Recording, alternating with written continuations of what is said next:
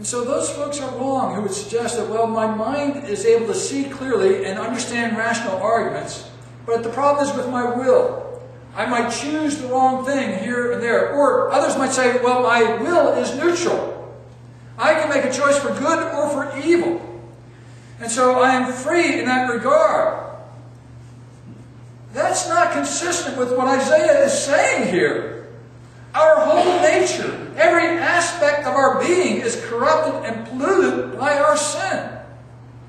Their minds are corrupted in that they spin these wicked arguments to, to deceive and corrupt others. Their will is polluted because they run the evil. They can't wait to engage in wicked things. The heart is corrupt, desperately wicked. Isaiah is not being too pessimistic here about our human nature. He's being realistic. He's explaining just really what our situation is.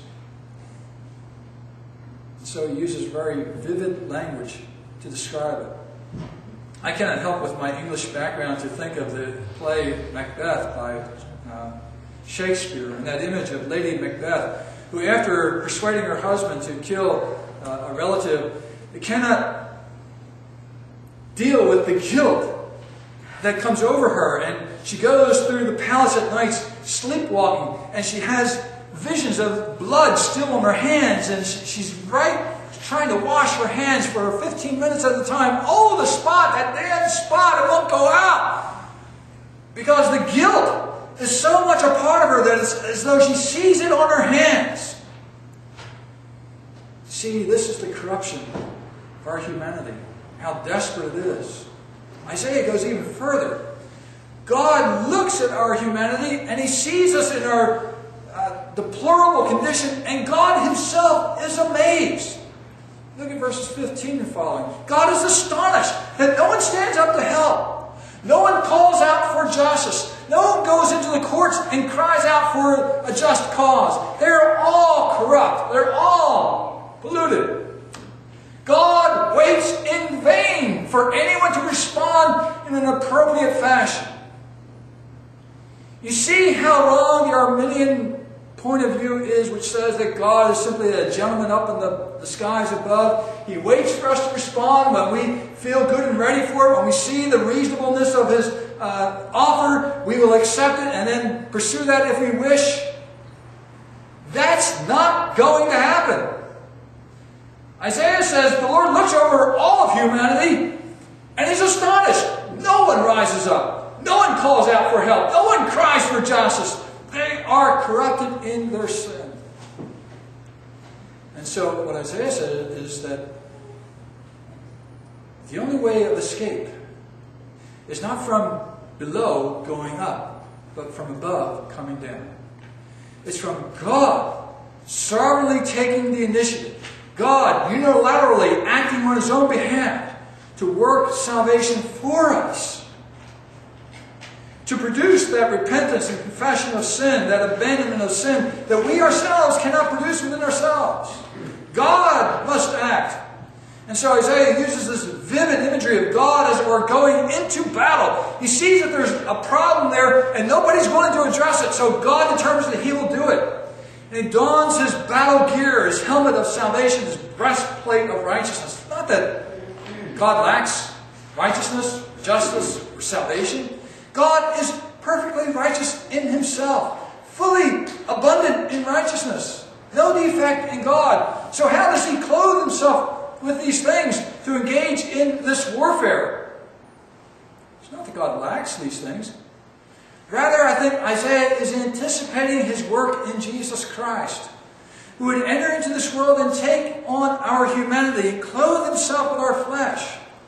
And then, as the mediator of the covenant, as our Messiah, engage in a life of righteousness, whereby that righteousness is what brings us salvation.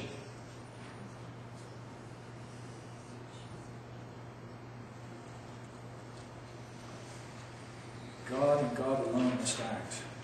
And he acts through the Lord Jesus Christ to accomplish this great work of salvation.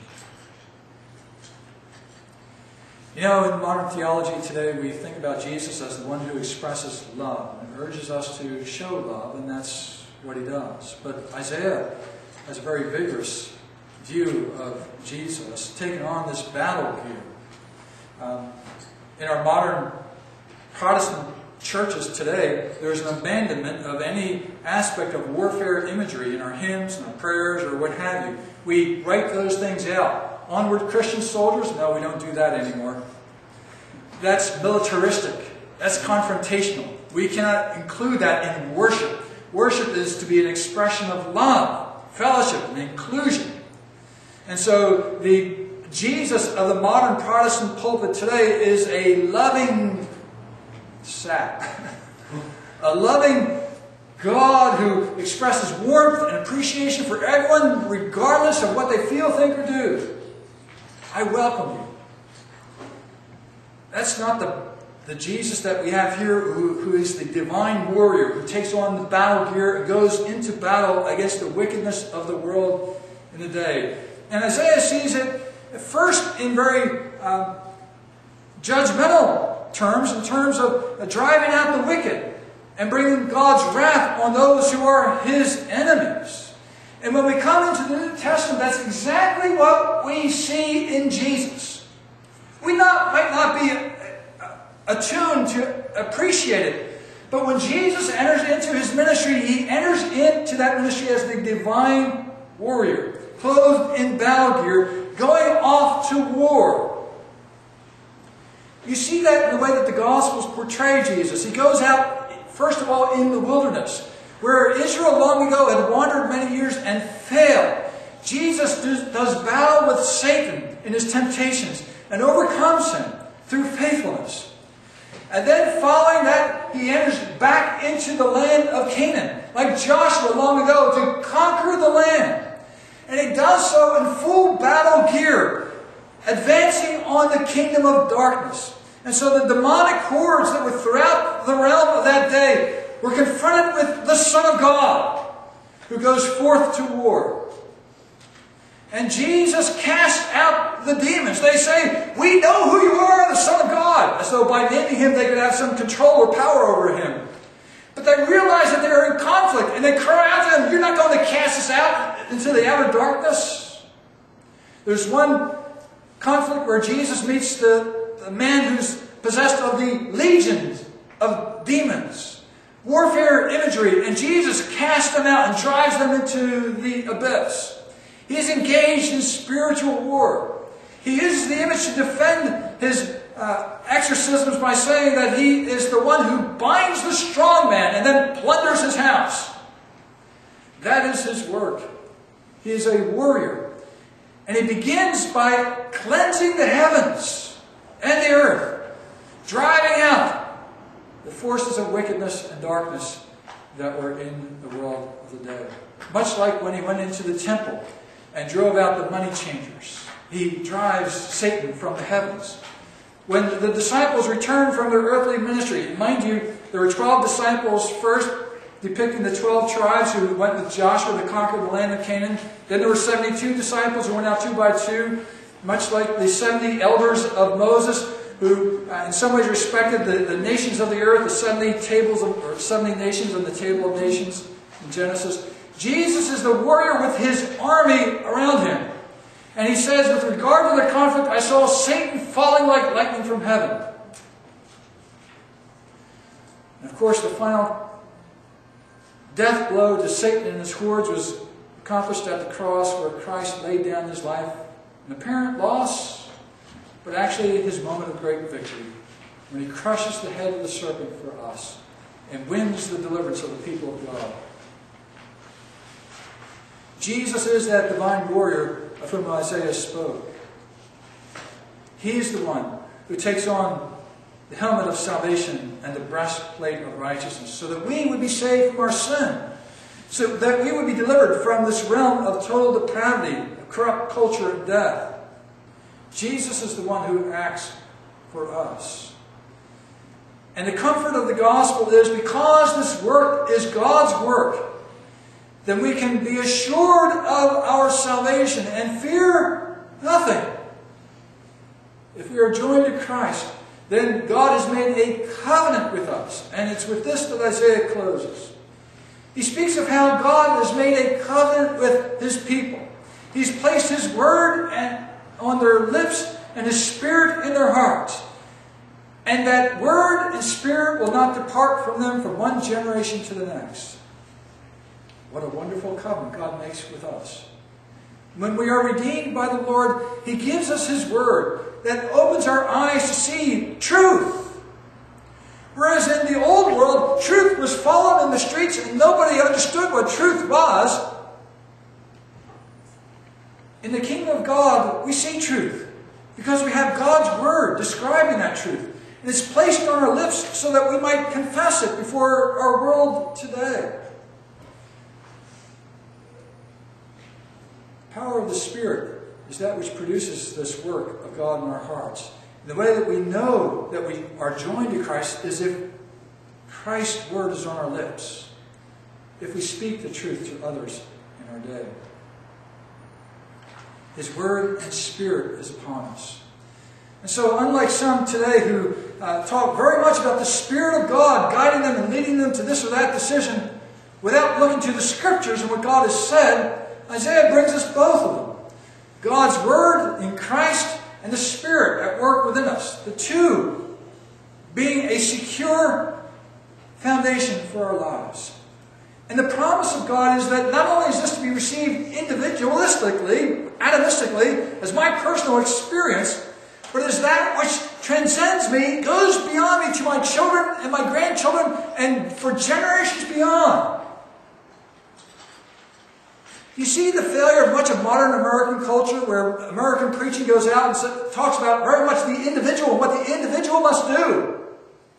It doesn't see God's generational plan for God's church, for His kingdom. The blessings of salvation, as Peter said at Pentecost, are for you and for your children. And for all whom the Lord our God will call to Himself.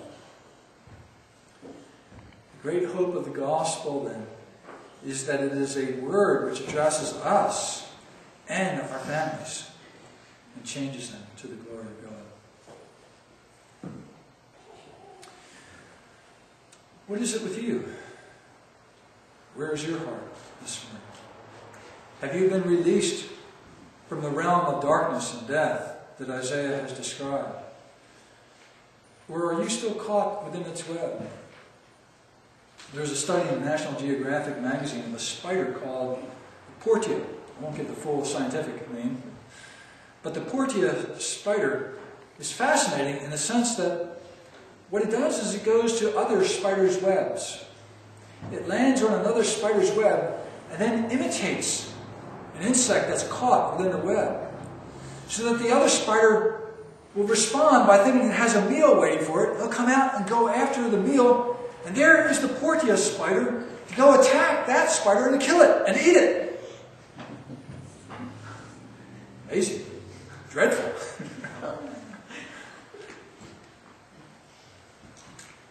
but interesting. As Jonathan Edwards would say, admirable. As a picture of what takes place in the world around us. If you refuse Jesus and his call to embrace him in the living faith, following after him as his disciple, if you wish to continue on in your world, then, mind you, you live in a very dangerous world. And you may form your intricate webs and think, oh, how wonderful they are. And I've got my food, I've got everything that I need. Watch out. There's a Portia out there that will get you. You will die. You will perish.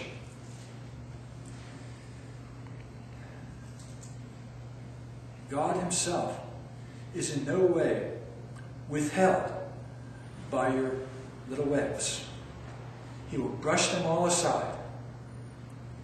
And it takes the wicked, and like that spider in Edward's sermon, drops them into the fire. You have to contend not with other insects, but with God Himself. Today is the day to repent and to turn to the Lord, confessing that it's against you that we have sinned. and our only hope is in you. Let's pray.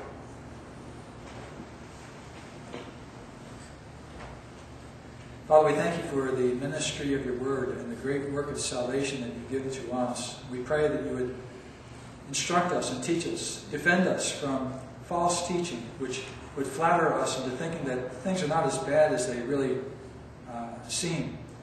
Help us, Lord, to see them as you see them and to take comfort in the promises of your gospel, the promise of your spirit and your word, and to rest in the truths that your word provides to us. We ask that your spirit would strengthen us as we leave this place. Grant us your blessing as we continue in worship. We ask it in Jesus' name.